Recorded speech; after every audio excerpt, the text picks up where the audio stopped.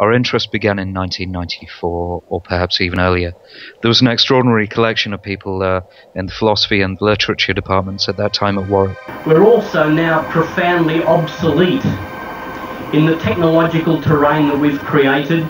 But we're all loosely associated uh, around what we saw as the most exciting uh, department in the whole university, the philosophy department, where Nick Land was a particularly compelling figure.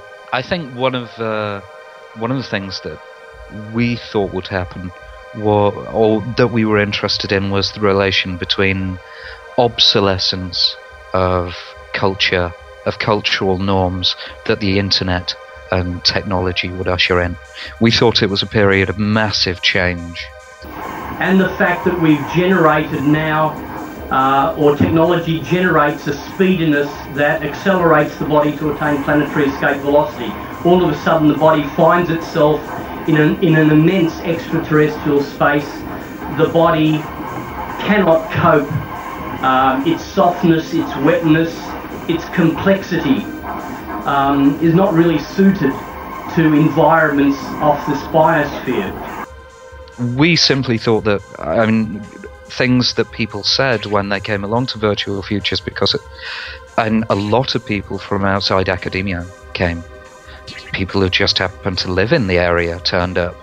And they were very skeptical, first of all, about the existence of cyberspace, even in the first place. Um, skeptical about the internet, skeptical about um, even this idea of everyone using keyboards, computers. They yeah. thought, I mean, how is this going to happen?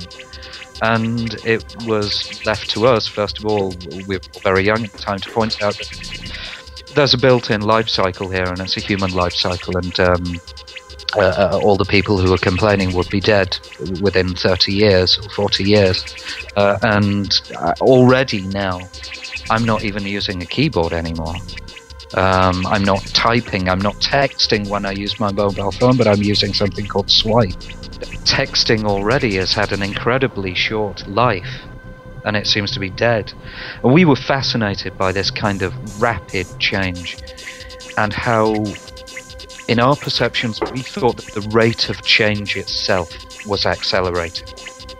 Certainly, uh, if you apply Moore's law and translate it on a, let's say, a cultural basis, if you interpret it, whether you say metaphorically or not, if you interpret it as a law that has more than application merely to the speed of processors, but perhaps to the speed of change itself, then we thought, yeah, something is reaching a tipping point here. I think, uh, for me personally, um, though this was certainly not the case for all of the people involved, um, one of the principal motivators uh, for this fascination in the relation between technology and our what we were studying, philosophy, was born out of um, the cultural atmosphere of the time.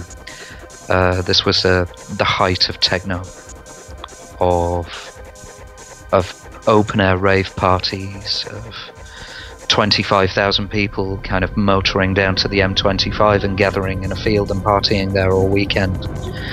Um, and to to this you know relentless machine music. And so that was part of the spirit in which we organized it. As i say part of a almost a punk spirit but a punk spirit married with modern technology. And i think that this was you know one of the events where I mean, it got covered so widely across the nation, and I mean, across the globe. There were, you know, TV crews came from Korea to film the whole thing, you know, and it plastered it all over the daily newspaper, the Pyongyang Daily News. Clearly, something was going on that people, whatever Warwick University thought of it, people elsewhere took a lot of notice. It was important, you know, elsewhere, and so as an aspect of that history, I think that you know it deserves historical analysis on its own. There was an element of theatre always to the way we did virtual futures, an element of entertainment which was the hook. Sure, there was the hardcore cognition stuff. There were people like George Kampis we brought from Hungary. It was, uh, I, I, I, think maybe three people in the world could understand. Never mind three people in Warwick.